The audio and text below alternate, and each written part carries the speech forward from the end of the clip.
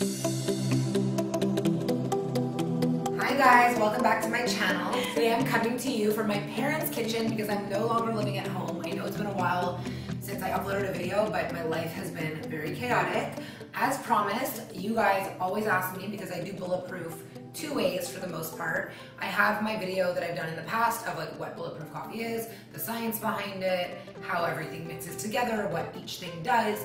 If you want that type of information, I will link that video below in the description on this video.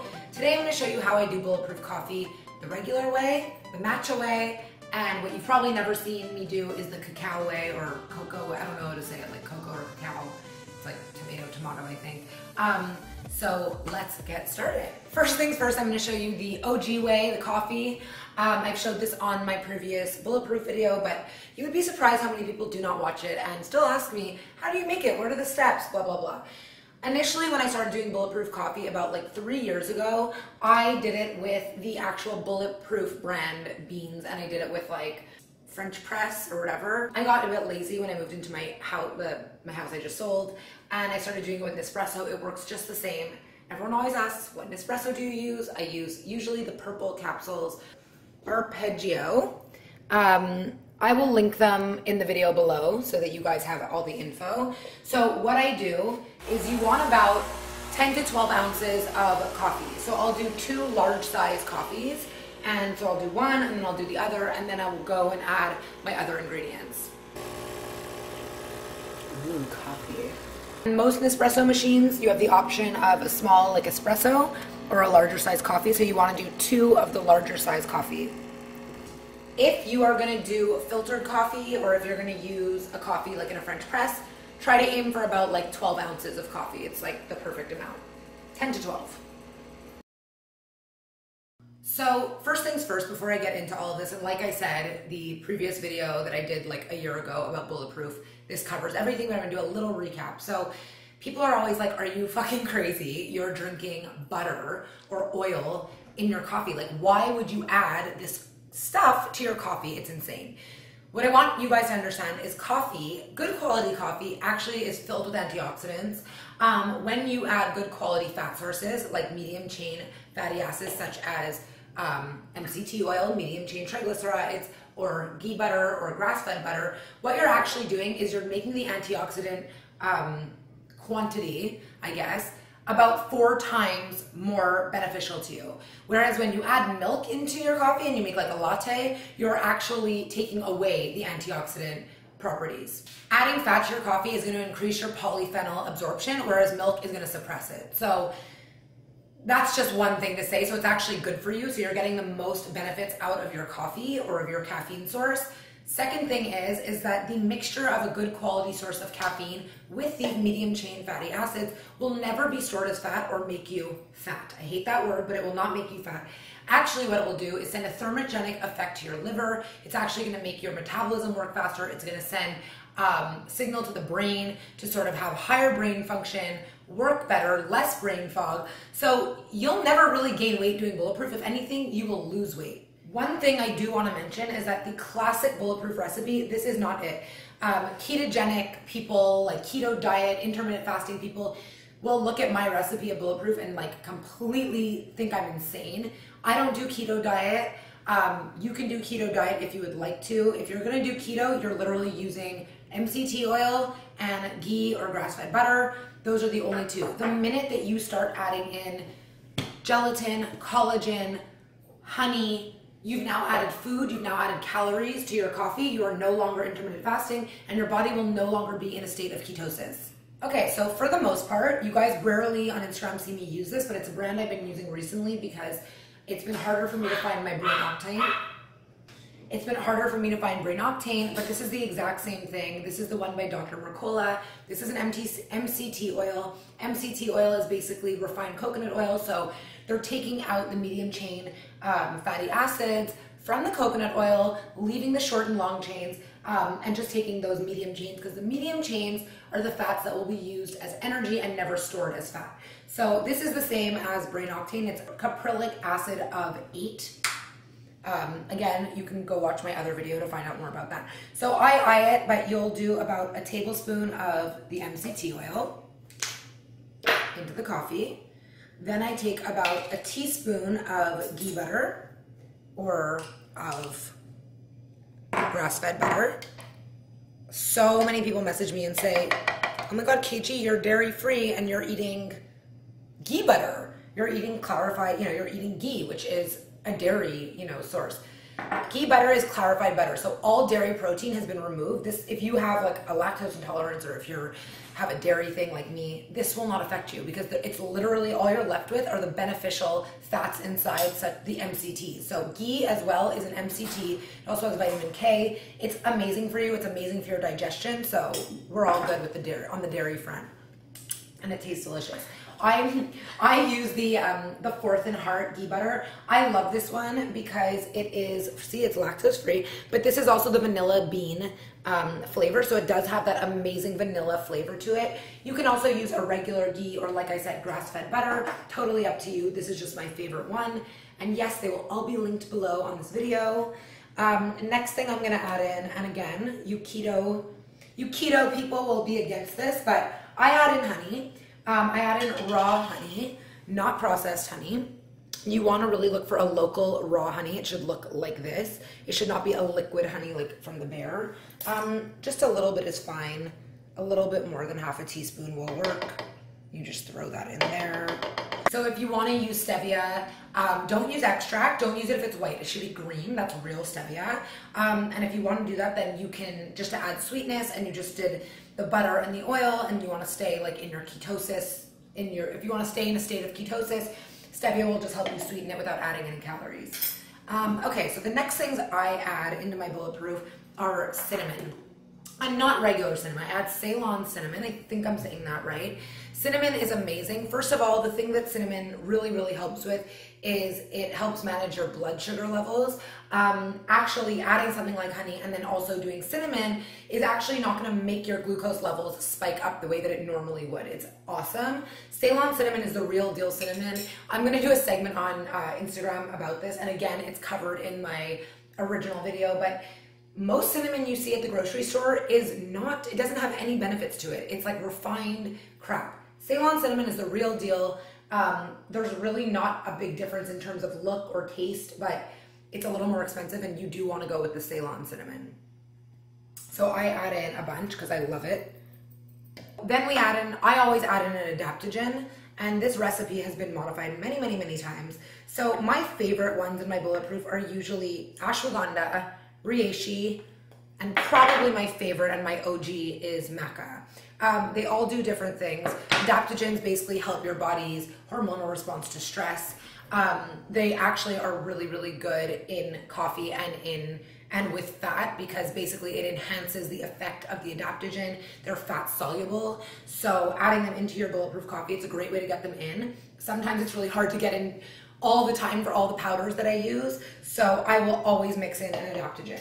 You can do two at a time if you want, but for now I'll just do ashwagandha and half a teaspoon or even a quarter teaspoon is more than enough for your daily intake of ashwagandha. This stuff is amazing. It's like it's like a zen, I don't know, it's like a spa for your mind. And then the last thing I'm gonna add in is beef gelatin. So everyone always says to me, how is your bulletproof so frothy? It's so frothy, beef gelatin. Um, it makes such a difference. Beef gelatin is a form of collagen. It's filled with amino acids. It is excellent for your gut lining. I talk about it so much that you guys at this point must know. Everyone says, what's the difference between beef gelatin and collagen peptides? Collagen peptides, um, you can dissolve in cold liquid, hot liquid, whatever you want. You put it in oatmeal cereals. Beef gelatin, if it's not used in hot liquid, it will gelify. Um, why I like using beef gelatin more in my bulletproof is number one, it's hot, and number two, it makes it so much frothier than collagen does. So I do one scoop. A serving of collagen would be the two scoops, like a full serving. I only do one. I think two would just make it a little bit too heavy. So even if you're having this like after a workout, you're also getting some protein. I generally do it before a workout, but it's really up to you. So now I have all my ingredients in here. This is um, the cup from a NutriBullet. By the way, I have to give a little like forewarning. NutriBullet is not meant for hot liquids. It has exploded on me before. If you guys want to be better safe than sorry, do it in a blender, do it in a Vitamix, in a Blendtec. Um, but for the sake of like cleaning and stuff, I find it irritating. I try my luck and I do it in the NutriBullet. But again, you are not supposed to put hot liquids. I don't want to get blamed if someone has an explosion and whatever. I then will put it in here, blend it up, no explosion right now. And you can instantly, I don't know if you'll be able to hear this. It's like you can hear the foam. And then I do what I always do on Instagram, and that is my pour.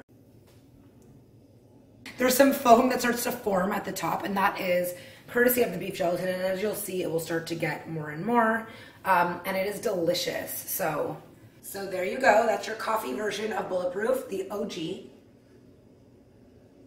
So smooth, creamy, and delicious. All right, so next thing we're gonna do is Bulletproof Matcha. This is probably my favorite now. Um, for years I did coffee, like then I switched to matcha, I don't know, maybe six months ago. Reason being is that I just tried it. Like everyone on Instagram was always like, what's another alternative to coffee for bulletproof? And I ended up doing one day like a tutorial on matcha. Um, I always loved matcha.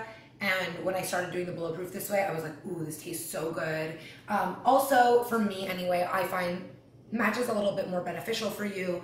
It is green. It's basically a pure form of green tea. Um, so it's about 28, it's about, it's like one cup of matcha is like having 28 cups of green tea in terms of antioxidants.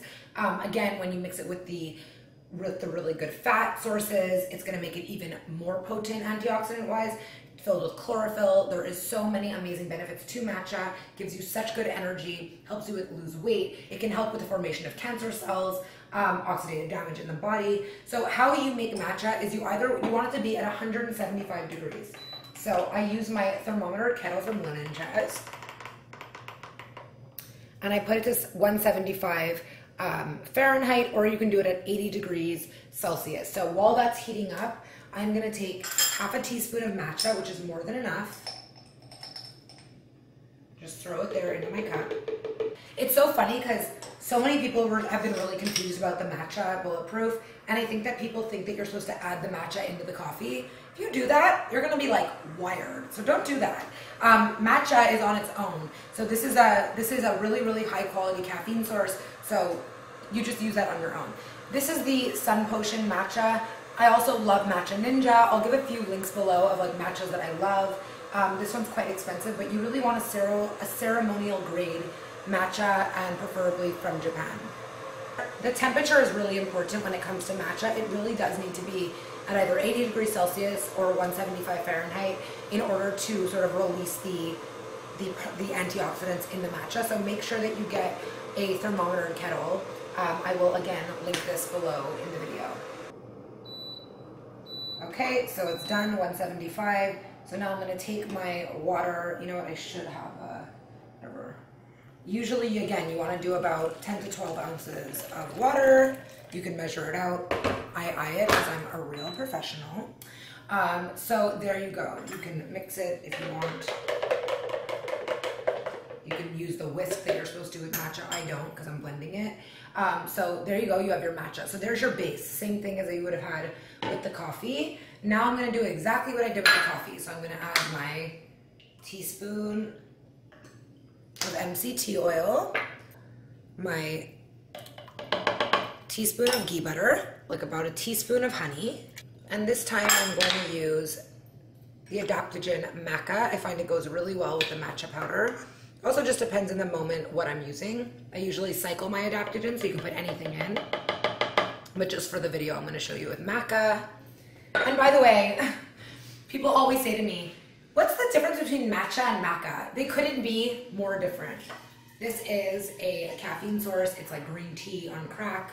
And maca is an adaptogen that really, really helps balance your hormones. So one has nothing to do with the other.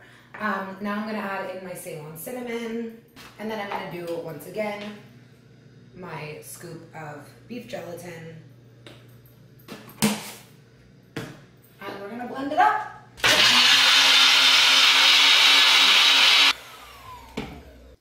Mm -mm -mm, smells so good.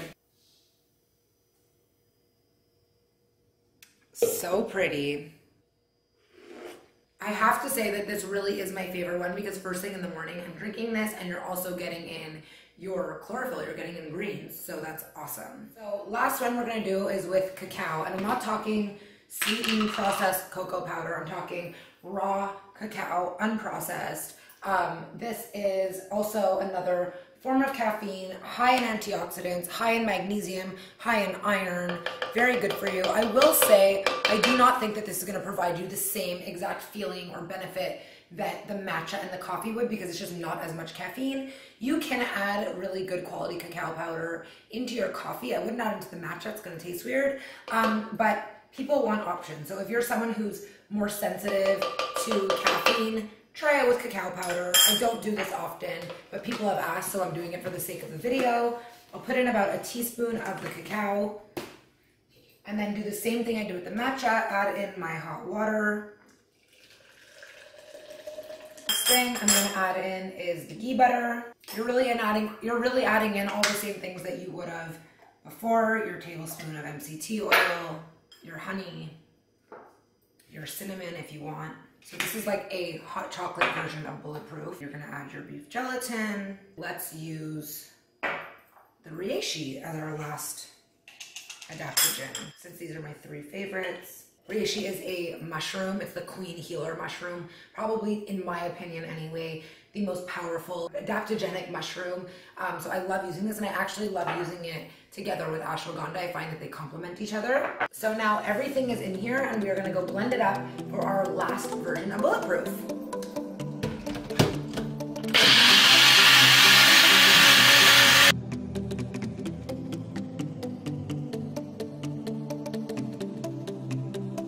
Bulletproof hot chocolate. So here are the three Bulletproofs. This one we had some of, so it disintegrated. Matcha, chocolate.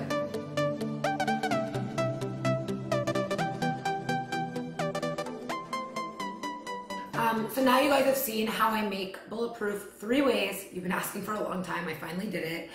I just wanted to, I wrote down a few questions that I commonly get asked by you guys uh, that I just wanted to clarify really quickly for the end of the video. Can this be made, can this be, what is wrong with me? Can this be made in advance? That's, what that's a proper way of speaking. No. So I don't think so. Like you just saw what I did. First of all, you know, you're putting in yes, the, the oil is liquid, um, but I, do, I really don't think that you could make it in advance and then like warm it up in the microwave or whatever. I think that first of all, you'll enjoy doing this. Once you make bulletproof, it's actually like kind of becomes part of your routine in the morning. So no, I wouldn't. Also, if you're using gelatin or collagen, the gelatin will solidify. Like even if at the end of my segment in the morning, I leave my coffee or my matcha down, like by the end, whatever has been sitting there will be like full jelly. So so no, um, you cannot do this before in advance. Can this be made cold? Sure. Like if you want to add ice in, I guess you could. Again, if you're doing it with gelatin, the second that you add cold to gelatin, it will solidify. So no. Um, but I personally think it's best hot anyway. I think it just goes through the body better anyway. Um, and that's how it's meant to be drank. So I would just keep it hot if you can. Um, do you have to add collagen? A lot of people are vegan. So in that case, if you're vegan, you wouldn't put the ghee um, and you wouldn't put the collagen. You're not really doing the bulletproof properly. It's not really made for vegans, to be honest with you. Um, you do not need to add the collagen and you also do not need to add the honey as mentioned earlier. If you want this to be like a keto thing, if you're doing intermittent fasting, do just the caffeine source. So either the cacao, the, mac- the matcha, or the coffee, and then just do your MCT oil and your grass-fed butter or your ghee butter. Do I have to work out to drink this? Everybody asks me this. No, this is not a workout beverage. This at all. Like you can literally drink it however you want. Often, what it will do for you is actually going to help suppress your appetite. It really, really does. It makes you feel super full. So, for a lot of people, it replaces a breakfast. Um, for a lot of people, and for me, I find like the days I don't drink bulletproof, the days I don't drink bulletproof, I crave like crackers and chips and all these bad things.